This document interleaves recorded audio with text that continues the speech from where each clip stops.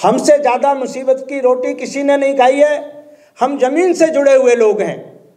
क्या हमें इसी देश के अंदर झूठन खाने के लिए मजबूर नहीं किया? इस देश की भुखमरी ने किया है कि आखिर हम सफ़ाई के कार्य को ही क्यों करते हैं? और कोई कार्य क्यों नहीं करते?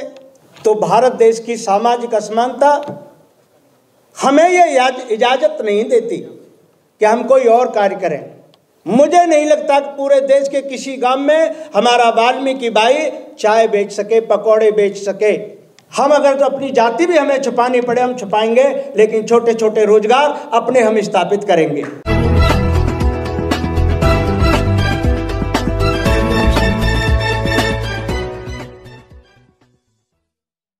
भारत देश के अंदर जो सामाजिक असमानता है, उसका दंश अगर कोई झेल रहा है तो हम लोग झेल रहे हैं। इससे कैसे बचा जाए? इस सामाजिक असमानता का जो हमें नुकसान हो रहा है, इससे हम कैसे बचें? इस पर चिंतन करने की आवश्यकता है।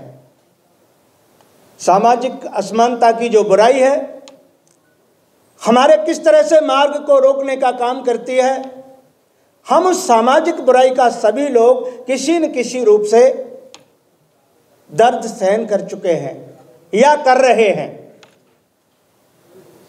आज हमारे लोग जब ये कहते हैं कि आखिर हम सफ़ाई के कार्य को ही क्यों करते हैं, और कोई कार्य क्यों नहीं करते तो भारत देश की सामाजिक असमानता हमें यह इजाज़त नहीं देती कि हम कोई और कार्य करें। क्या आप 90 परसेंट भारत देश के अंदर चाय बेच सकते हैं किसी गाँव में? मुझे नहीं लगता कि पूरे देश के किसी गाँव में हमारा वाल्मीकि भाई चाय बेच सके, पकौड़े बेच सके। ऐसा कोई गाँव नहीं है। शहर में भी उसे अगर ये कार्य करना है तो वो भी अपनी जाति छुपा के करना पड़ेगा। ये सामाजिक असमानता है। इस सामाजिक असमानता को हम झेल रहे हैं, हमारा प्रत्येक भाई झेल रहा है। इस कारण हमारे रोज़गार, जो हम छोटे छोटे रोज़गार करना चाहते हैं, उसमें हमें सफलता नहीं मिलती। आखिर हमारे पास भागदौड़ करने के बाद एक ही कार्य बचता है, सफ़ाई का कार्य, क्योंकि इसे देने में किसी को कोई आपत्ति नहीं है। मैंने एक बात कही है आपसे कि हर आदमी इसका दंश झेल रहा है इसका नुकसान उठा रहा है। सभी ने नुकसान उठाया और आज भी उठा रहा है। तो इस सामाजिक असमानता को दूर करने के लिए हमें सभी को चिंतन मंथन करना है। इसका हमें सभी ने समाधान निकालना है मिलकर के। राजनीतिक असमानता, ये भी आप सभी बैठे हुए देख रहे हैं।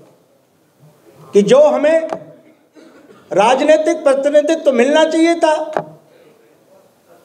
क्या हमें मिला है? आज 30 से 35 लाख वाल्मीकि दिल्ली के अंदर रहते हैं। देश को पिचहत्तर साल आज़ाद हुए हो गए। क्या 35 लाख जनसंख्या के आधार पर क्या दिल्ली के अंदर हमें प्रतिनिधित्व मिला है? नहीं मिला है। जितना मिला है क्या उसके साथ न्याय हुआ है? नहीं हुआ है। तो हम राजनीतिक असमानता के भी शिकार लोग हैं। रास्ता कहाँ से निकलेगा? रास्ता कौन निकालेगा? रास्ता हम सब मिलकर के निकालेंगे। क्योंकि हर मार, हर रास्ता बैठ करके जब हम विचार करते हैं तो विचार से रास्ता ज़रूर निकलता है। लेकिन उस विचार को हमें सुनना होगा।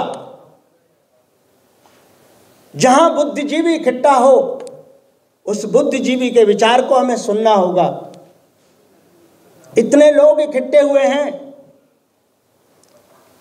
यहाँ इकट्ठे होने में प्रमुख रूप से दो चीज़ खर्च हुई हैं। समय खर्च हुआ है, धन खर्च हुआ है। इसका हम सदुपयोग कैसे कर पाएँगे? अगर हम अपने महापुरुषों को मंच पर आप आमंत्रित अतिथियों को अगर हम नहीं सुनेंगे तो हमने जो समय निकाला है, इस आयोजन पर हमने जो खर्च किया है, उसका लाभ हमें नहीं होगा। अभी मैं देख रहा था, खाने को लेकर के बड़ी भागदौड़ शुरू हो गई थी। अभी तो भूख का टाइम ही नहीं हुआ है। क्या हम इतने भूखे हैं? कि दो घंटे हम बैठ करके अपने विचारों को, अपने महापुरुषों के विचारों को नहीं सुन सकते। जब हम अपने महापुरुषों का विचार ही नहीं सुनेंगे, उनका मार्गदर्शन ही नहीं सुनेंगे तो फिर हम समाधान कैसे निकालेंगे? समस्या हमारी है। और हम ये सोचें कि समस्या का समाधान कोई दूसरा हमें खोज के देगा? नहीं देगा। उसका समाधान हमें खोजना पड़ेगा। सरकार के सामने भी समाधान के जो हमें प्रस्ताव हैं, वो हमें रखने पड़ेंगे। सरकार को हमें अवगत कराना पड़ेगा कि हमारी ये समस्या है, अगर आप इसका, इस तरह से समाधान करेंगे तो हमारी समस्या का समाधान होगा। जब हम उसके संज्ञान में अपनी बात को सरकार के में देंगे, मुझे लगता है कि समाधान निकलेगा। हमें यह भी विचार करना पड़ेगा कि हम पढ़ लिखने के बाद कोई ज़रूरी नहीं होती कि सभी को नौकरी मिल जाए। हमें व्यापार की तरफ़ भी अपने कदमों को बढ़ाना पड़ेगा। छोटे छोटे लघु उद्योग अगर हम खोलेंगे, मैं मानता हूँ कि हमारी सामाजिक असमानता हमारे मार्ग में बाधा आएगी। लेकिन कोई बात नहीं हम अगर तो अपनी जाति भी हमें छुपानी पड़े, हम छुपाएँगे, लेकिन छोटे छोटे रोज़गार अपने हम स्थापित करेंगे।